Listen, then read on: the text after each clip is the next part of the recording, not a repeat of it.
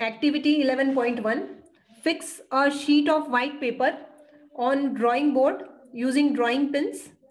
Place a glass prism on it in such a way that it rests on its triangular base. Trace the outline of prism using pencil.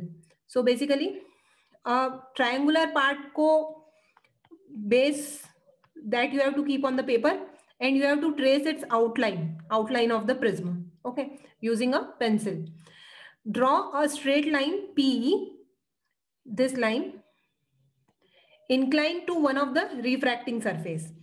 और एक refracting surface से inclined एक line बनाना है P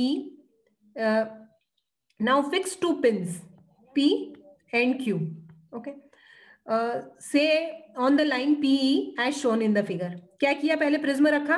prism रखने के बाद उसकी आउटलाइन बनाई और एक लाइन बनाई जो प्रिज्म से इंक्लाइंट है। उस लाइन के ऊपर दो पॉइंट्स पी और क्यू मार्क किए और उनके ऊपर दो पिंस फिक्स कर दी ओके okay? अब look for the images of the pins fixed at P and Q through other face और ये जो अदर फेस है ए सी यहाँ से इन पी और क्यू पिंस की इमेज देखने की कोशिश की। Suppose this images are at R and S तो उनको वहाँ पे दो और पिन लगा दी और उनको नेम किया R and S okay Fix two more pins at point P and S so that pins R and S are the end. the images of the pins P and Q lie on the same straight line. Okay. Now remove the pins and glass prisma.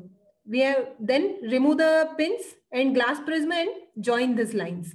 The line P line this one and this one. Okay. The line PE meets the boundary of the prism at point E.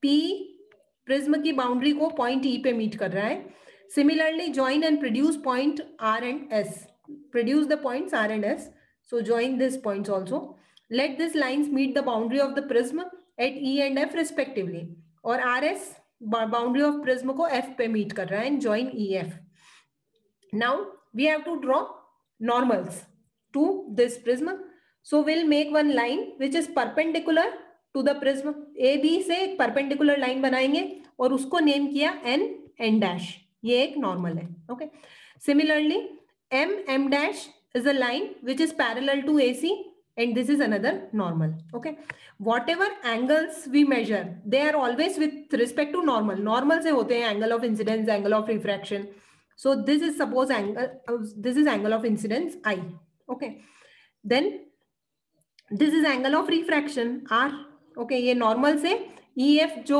Angle बनाएगा वो होगा are फिर जो R S वाली line है, ये जो normal से जो एंगल बनाएगी that is E okay this is angle of emergence okay now what will do extend this R S this way and extend this line P Q this way the angle which is formed between this R S line and P Q line let it be D. Okay. So,